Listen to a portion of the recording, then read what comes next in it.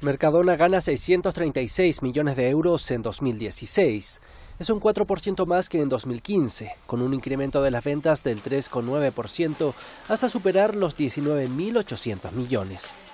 Resultados que ha valorado su presidente Juan Roig, quien ha destacado que la cadena de supermercados generó 4.000 empleos el año pasado y suma ya 79.000 trabajadores.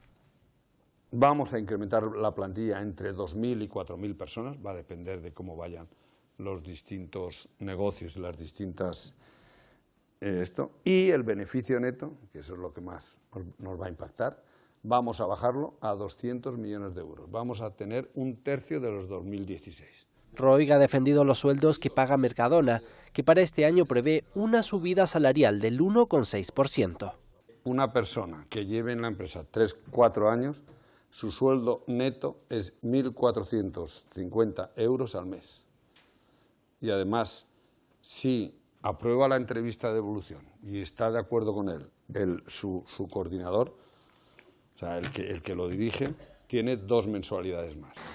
La cadena, que cuenta con 1.614 establecimientos y copa el 23% del mercado del gran consumo en España, mantiene su intención de abrir sus primeras tiendas en Portugal en 2019, al tiempo que reforzará su apuesta por los alimentos frescos.